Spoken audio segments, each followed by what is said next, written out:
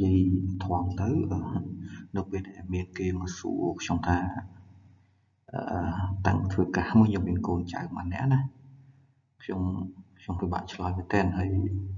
អឺខ្ញុំតែងតែព្យាយាមឆ្លើយប្រាប់ទៅគេវិញថា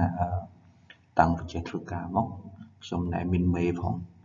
ហើយក៏មិនដែលមានកូនចៅដែរបាទហេតុអីបានខ្ញុំឆ្លើយអញ្ចឹងពួកគេសើចទៅពេលឮខ្ញុំឆ្លើយបែបហ្នឹងទៅគេណា ប៉ុន្តែអ្វីដែលខ្ញុំចង់បង្ហាញវិញថាហេតុអីបានខ្ញុំអត់ដែលមានមេព្រោះមែនទែនទៅខ្ញុំអត់ដែលមានអាណាប្រកបបញ្ជាឲ្យធ្វើអ្វីមួយព្រោះពាក្យថាមេគឺជាបុគ្គលម្នាក់ដែលចង្អុលចង្អុលឲ្យយើងធ្វើប៉ុន្តែតាំងខ្ញុំធ្វើការមកខ្ញុំអត់ដែលជួបអត់ដែលជួបរបៀបនៃការដឹកនាំបែបហ្នឹងណាអ្វីដែលខ្ញុំធ្លាប់ជួបគឺតែអ្នកដឹកនាំដែលគាត់ លើកជាគម្រោងអ្វីមួយហើយគាត់យកមកពិភាក្សាជាក្រុមបាទហើយបន្ទាប់មកទៀតគាត់ប្រាប់យើងថា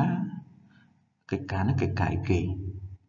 ហើយត្រូវធ្វើវាយ៉ាងដូចម្ដេចហើយត្រូវសម្រេចវាឲ្យបាន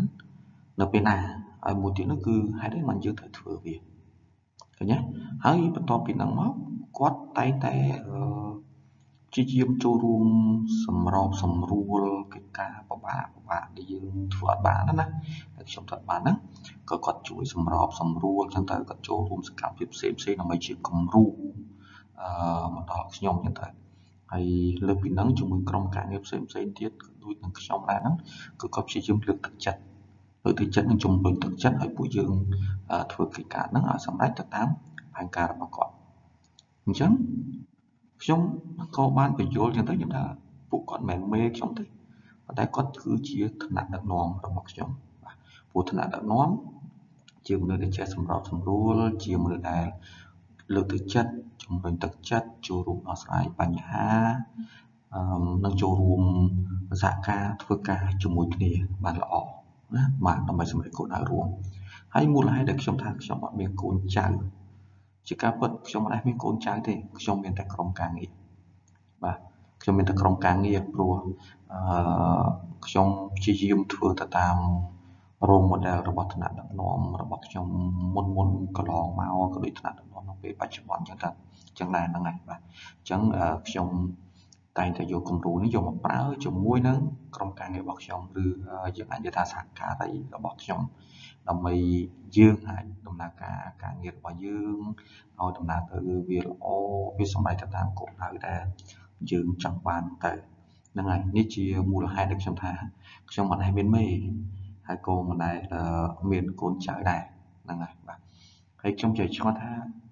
អ្នកខ្លះគាត់ចូលចិត្តតាំងខ្លួនជាមេបាទ ខ្ញុំឆ្ងល់ថាហេតុអីបានចាំបាច់តាំងខ្លួនជាមេទៅអីណាហើយហេតុអីចាំបាច់ត្រូវហៅអ្នកក្រោមបង្គាប់របស់យើងថាជាកូនចៅវាស្ដាប់ទៅអត់ព្រោះនិយាយស្មោះត្រង់ស្ដាប់ទៅអត់ព្រោះបាទព្រោះអឺពាក្យមេពាក្យកូនចៅមើលទៅដូចតឹងតែង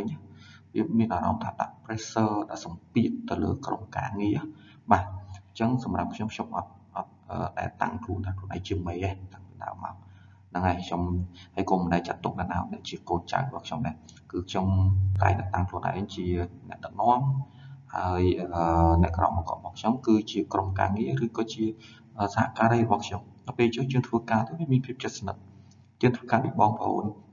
យើងធ្វើការដូចជាក្រុមគ្រួសារជាធ្លុងមួយទៅហើយយើងអាចសម្រេចការងារបានល្អណាយើងតែងតែសម្រេចបានទៅតាមគោលដៅរបស់យើងតាមផែនការរបស់យើង បាទនេះគ្រាន់តែជាការចែករំលែកតូចមួយរបស់ខ្ញុំសម្រាប់អឺអ្នកដតីទៀតឬអ្នកដែលតែងតែសួរខ្ញុំនៅសំណួរមួយនេះណាបាទ